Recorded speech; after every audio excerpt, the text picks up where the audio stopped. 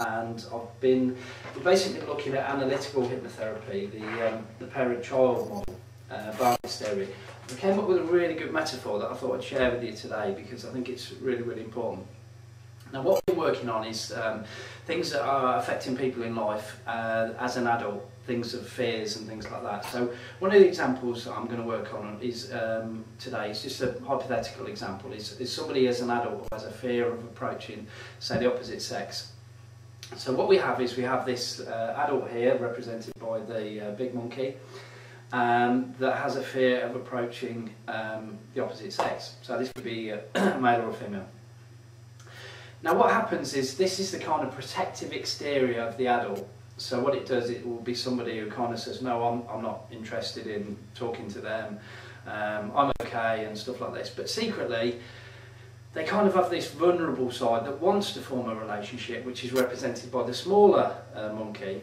And, and this is where this, uh, this vulnerability, uh, this fear um, is experienced. So what we have is we have the kind of adult monkey, uh, the sort of critical parent as I call it, uh, and then we have the sort of frightened child, the adapted child behind that's frightened of, of approaching the opposite sex, um, you know, for to start a relationship or whatever. And, th and this is the same for anything.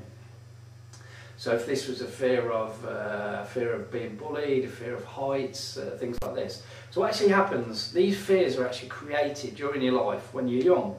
So if you imagine your timeline, that this is when you're born as a child, but what happens is as you go through life, um, um, something happens to the child. And this could be that this child, say it's a boy, um, could have been rejected by its mother. So the, the child, I don't know, say before the age of seven would say, hey mummy, mummy, come and look at this picture I've drawn. And the mum could be doing the washing up or whatever. And the mum said, not now, not now. So this child becomes really hurt. And this actually stays at that age. So it doesn't actually grow up. But what happens is later on in life, as the, the, the organism, the human being grows up, we get this, this child is stuck back at that age with those vulnerable feelings and is protected by this big sort of bodyguard in front. Now what you will notice is when people are in these situations where they want to um, do whatever it is, it could be public speaking, but for this example it's approaching the opposite sex, is that these people regress to this child. Now what, what happens and what I notice in therapy and with friends and everything else, and colleagues as well, is that when they're faced with these situations, their body language changes to that of, say this was created at age six, a six-year-old. Also the voice tone will change to that of a six-year-old as well.